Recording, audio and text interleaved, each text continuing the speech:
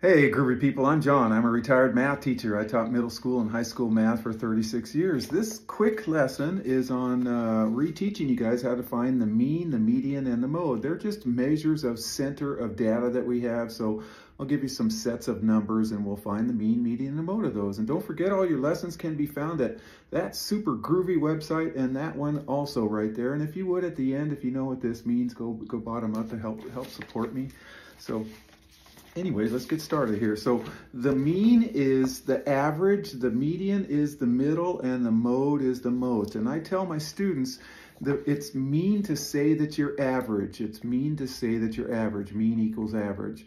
The median is like the median strip that goes down the middle of the highway. The median is the middle, median middle. And mode sounds like most, or you think of fashion modes. Who's wearing the number seven the most? You know, that's fashion mode. So uh, mode sounds like most. Okay, let's get started with some here. So I'm going to use another piece of paper to so we don't get overloaded on stuff. So here it says find the mean, median, and mode of each set of data. I think that's what it says.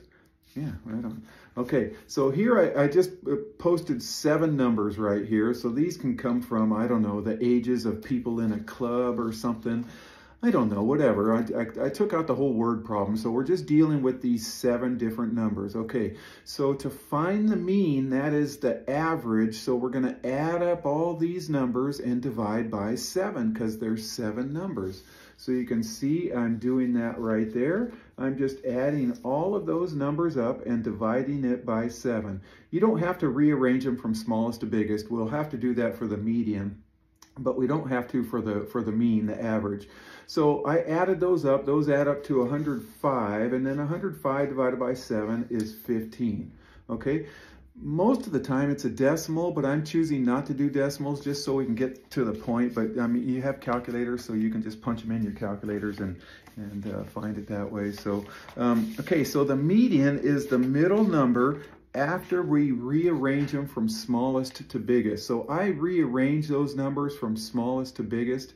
And since there's seven numbers, then the fourth number is the middle. So check this out. If I go one, two, three, four, that's the median. If I went from this way, one, two, three, four, that's the middle number, so that's the median right there, okay? And then the mode is the number that we see the most. Well, I see two 15s. I don't see any others that are repeating right there, so the mode is 15 total, total coincidence that I made the mean, median, and mode all the same number. It's not on the next one. In fact, we get decimals a lot of times, you guys, and so especially on the mean, you guys, and the medians too, sometimes we get um, decimals on that.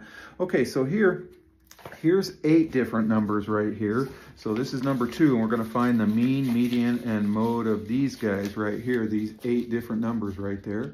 Okay, so um, uh, there, they, there's the mean right there. We're going to add them up and divide by 8, and I did that earlier. 232 divided by 8 is 19, so the mean is 19. Again, a lot of times we get decimals, but this time we don't. I'm just just so you get the, uh, the understanding of mean, median, and mode. Okay, the median is after we rearrange them from smallest to biggest. This time there's, and I did it down here. So this time there's eight numbers. So think half of eight is four. And then so the fourth and the fifth number is gonna be the, the median right here.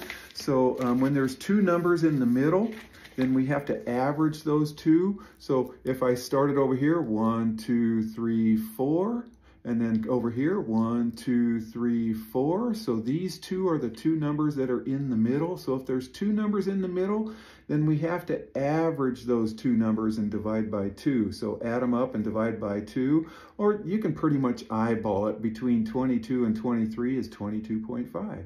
Okay, and this time, this guy has two modes because I see two 16s, I see two 22s. So there's two modes on that, 16 and 22. Okay, so sometimes you have more than one mode, sometimes you only have one mode. Here's an example where there is no mode. There is no repeating number, so no number has more than the other. So, so you might have um, uh, a no mode, you might have one mode, and you might have more than one mode. Sometimes you have three modes or more, depending on that. Okay, you guys, if you're still with me, don't forget, start at the bottom and just go up right there. Okay, you guys, I, I appreciate you guys and peace out.